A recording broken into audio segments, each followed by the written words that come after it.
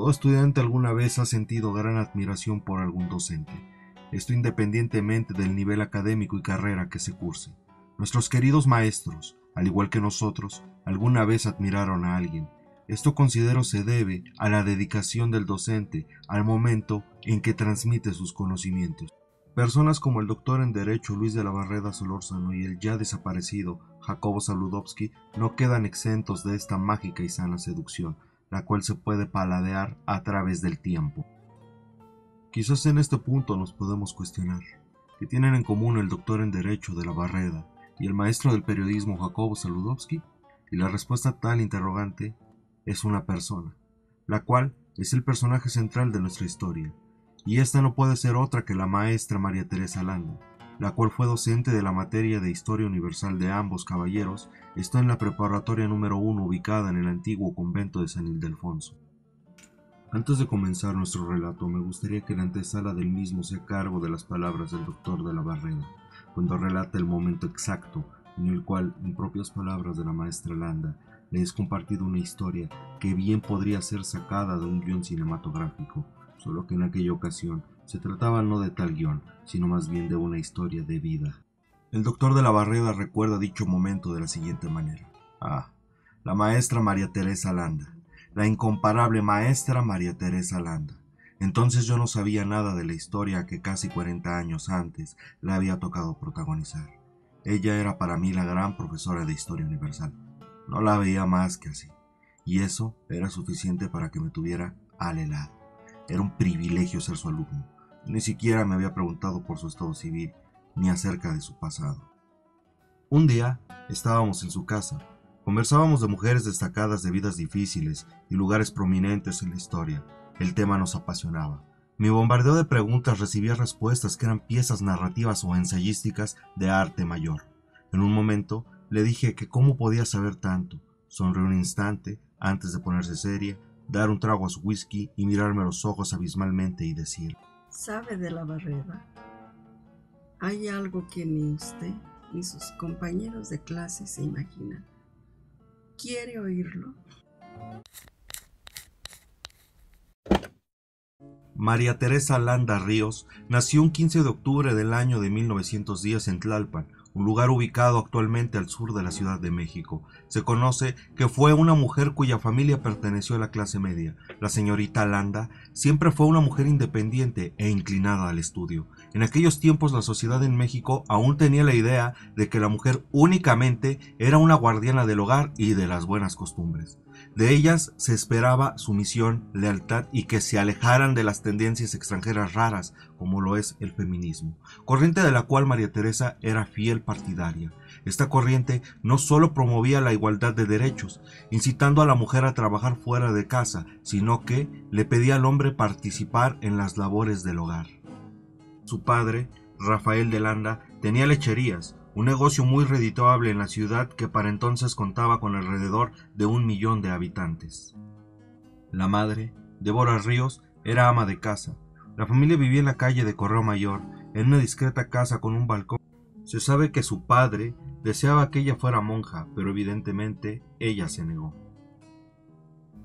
La chica amaba la lectura fervientemente, por lo tanto esta pasión la acompañaría durante toda su vida. Estudió la secundaria en la Escuela Central, ubicada en San Cosme, y después acudió a la Escuela Normal de Maestros, donde se sensibilizó por la importancia del magisterio, el cual ejerció hasta su muerte. Después entró en la Escuela de Odontología de la Universidad Nacional. En sus propias palabras, podemos conocer su plan de vida. Mi mayor anhelo era buscarme una situación independiente, absoluta en todos los órdenes, económica y espiritual de tal suerte que nunca hubiera tolerado sujetarme a las formas ridículas del noviazgo.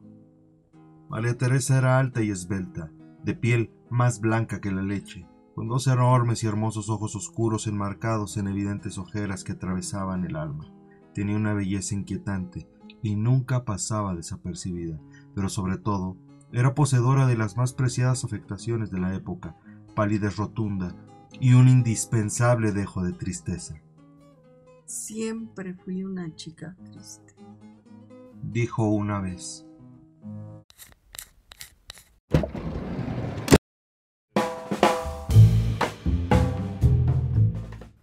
Sin embargo, el destino uniría dos caminos a través de la muerte, ya que el 3 de mayo de 1928, en la casa ubicada en la calle de Correo Mayor, se llevaban a cabo los servicios funerarios de la abuela de María Teresa, doña Asunción Tamayo.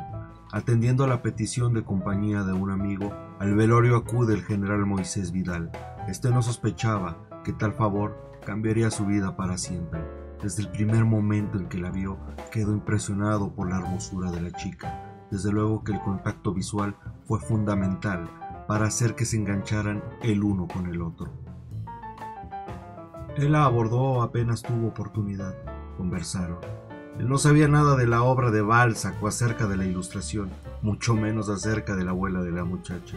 Pese a ello, se sintió dócilmente dominado. Una semana después del velorio, las visitas del militar comenzaron a volverse frecuentes.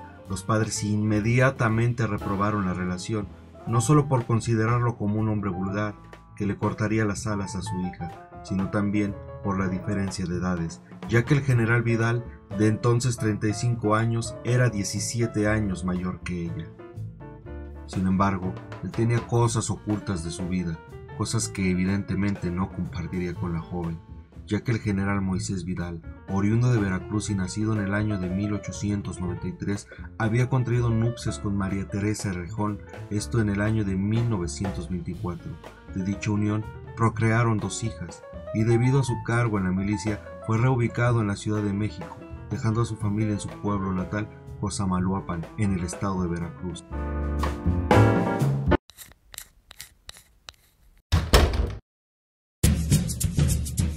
El 28 de abril de 1928, el periódico Excelsior abrió una convocatoria para un certamen de belleza y la ganadora de este representaría a México en la ciudad de Galveston, en el estado de Texas del vecino país del norte. Los amigos de la Universidad de María Teresa querían que concursara, pero ella simple y llanamente se negó. Para sorpresa de ella, vio aparecer su fotografía en la primera plana del propio diario que lanzó la convocatoria puesto que sus compañeros habían mandado su fotografía a escondidas. El periódico tomó como sede para la realización del certamen el balneario de los Jardines Esther, ubicados en lo que se conoce como en la ex hacienda de Guadalupe, en las entonces orillas de la ciudad. La entonces universitaria evidentemente recibió una invitación para dicho concurso y no solo la aceptó, sino que posó en traje de baño. Como fiel partidaria del feminismo, María Teresa no encontraba aquello inmoral, porque entonces numerosas señoritas y aún señoras hacían a un lado los perjuicios. Una semana después del evento, los mismos amigos que escondidas y esperanzados del triunfo de María Teresa habían mandado su fotografía regresaban felices. De tal manera que María Teresa Landa Ríos fue la primera señorita México de la historia al ganar, una noche del mes de mayo de 1928, el concurso de belleza auspiciado por el diario antes mencionado. Nadie puso en duda la justicia del triunfo el país tenía una inmejorable representante de la hermosura y la gracia de sus mujeres. Y como es de esperarse, y más por las condiciones sociales de la época, su padre al enterarse y ver las fotos le dejó de hablar. Su madre sufrió en silencio y al general Vidal no había quien lo calmase.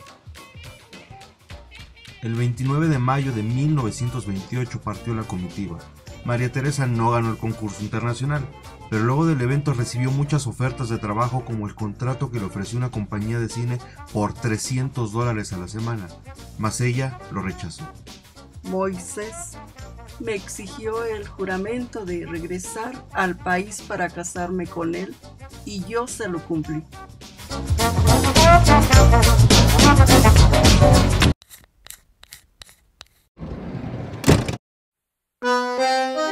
Poco tiempo después de regresar del certamen internacional celebrado en los Estados Unidos y sin avisar a sus padres, María Teresa acudió el 24 de septiembre de 1928 al juzgado donde su prometido tenía todo listo para la boda, incluyendo testigos que, posteriormente, resultaron falsos.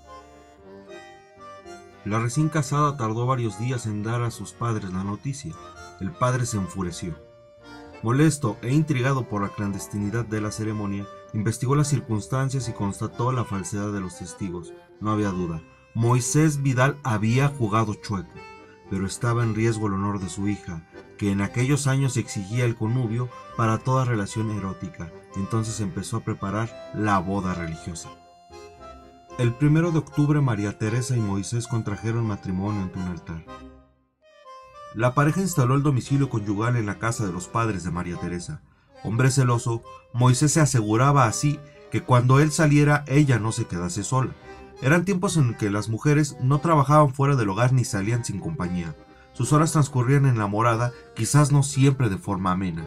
Ni siquiera se contaba con la televisión cuyo invento aún estaba lejano. Pero el amor, o la educación y las buenas costumbres propiciaban en las casadas la sumisión al marido. Vidal prohibió terminantemente a su mujer que hojeara el periódico. Una señora decente no tenía por qué enterarse de los crímenes y demás indecencias que llenaban las páginas de los diarios. María Teresa no quería pelear respondiendo que aceptaba la orden y acató la prohibición de dientes para afuera.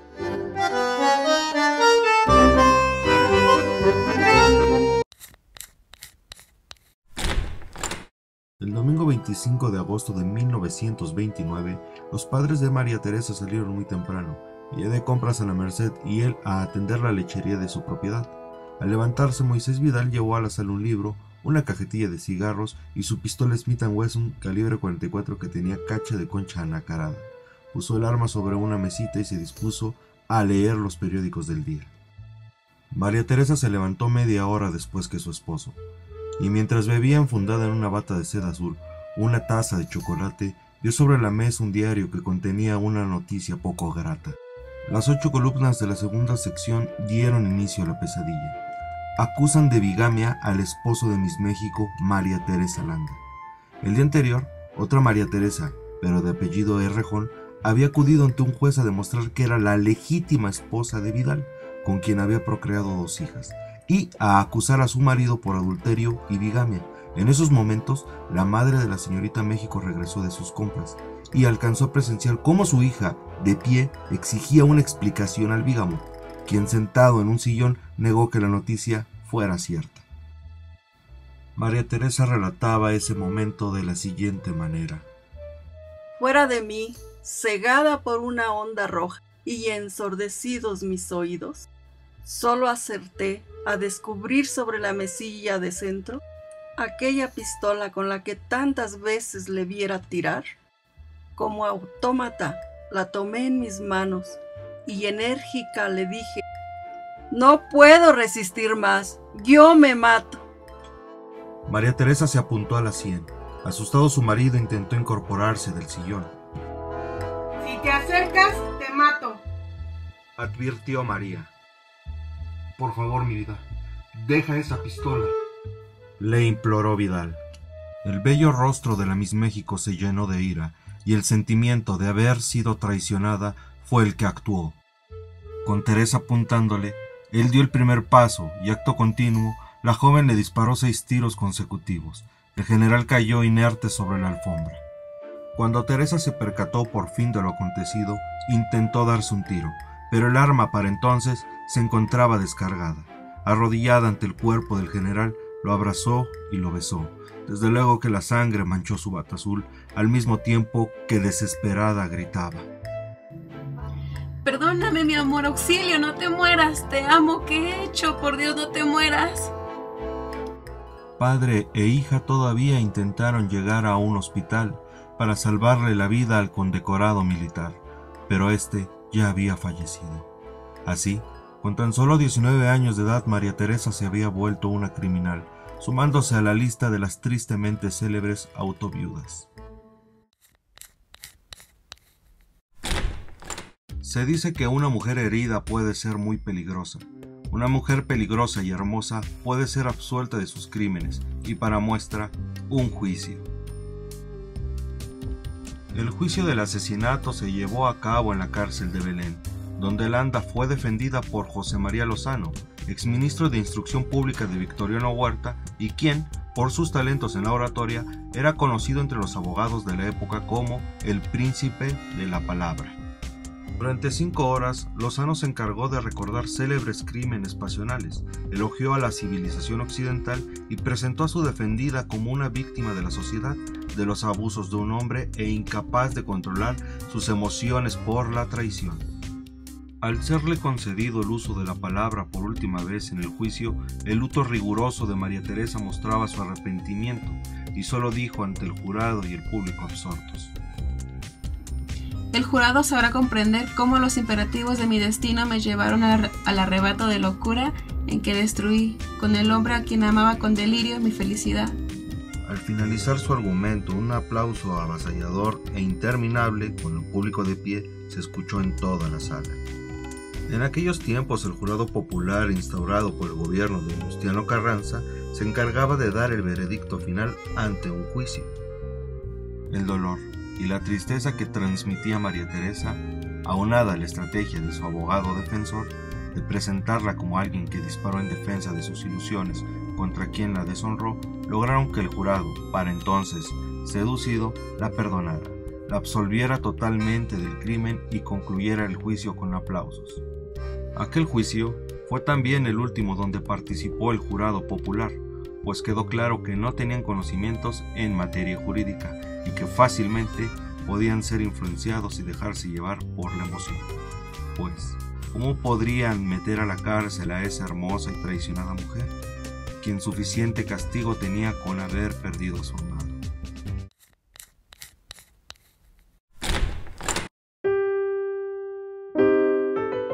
Muchos años después de lo ocurrido, el exalumno de la maestra Landa Ríos, Jacobo Sabludowski, quien vivió gran parte de su infancia y juventud en las calles del centro histórico, cuenta en una entrevista su relación con el lugar de los hechos. Mira aquella ventana, dice Jacobo. Yo dormía en ese cuarto sin saber que en esa misma habitación la primera señorita México de la historia había matado de seis tiros a su esposo el general Moisés Vidal. Me enteré años después cuando ella fue mi maestra de civismo en la secundaria y el primer día de clase un alumno escribió en el pizarrón Bienvenida viuda negra. Entonces comprendí que el centro era muchas vidas, vidas anteriores a la nuestra, con las que podemos convivir y podíamos tocar sin darnos cuenta. Me pareció sobrecogedor pero eso era también mucho del misterio y la belleza. María Teresa Landa sobrevivió a su esposo 63 años, falleciendo en el año de 1992 a la edad de 82 años en una casa de la colonia San Rafael en la Ciudad de México. Hasta el día de su deceso no volvió a casarse y de igual manera hasta esa fecha ejerció su pasión por la docencia con gran profesionalismo, esto en la Prepa 1, en donde contribuyó para la formación académica de los ya mencionados Jacobo Saludowski y Luis de la Barreda, así como también del Premio Nobel de Literatura Octavio Paz, quienes dejaron a un lado el trágico episodio de su vida y la recordaron con la belleza interna que les proyectaba, misma que estaba a la altura de la primera Miss México.